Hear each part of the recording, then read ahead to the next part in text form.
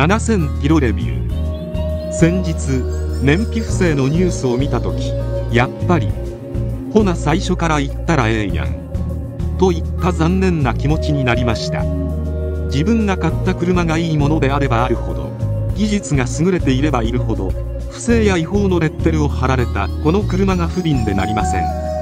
個人的には三菱の不正の根幹にいる上層部は全員辞めていただきたいし国交省にはそもそもの実燃費との乖離著しい JC08 モードそのものを見直して透明性のある PHEV や EV 水素燃料等の次世代技術にも適用される燃費基準を作ってほしい。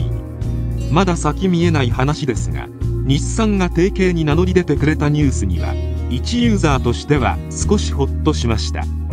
三菱が潰れたらメンテナンスはどこに持っていったらいいのかとかも思っていたし今後はこの PHEV の技術が日産にも渡り EV、PHEV の分野で日産、三菱ともにより良いものを作っていただきたいです。7000キロのレビューですが以前のレビュー以上に悪い点はありません。燃料はあまり長くエンジンを動かさないとエンジンに良くないらしいのでチャージモードを利用して月1回満タンにするような使い方を心がけています。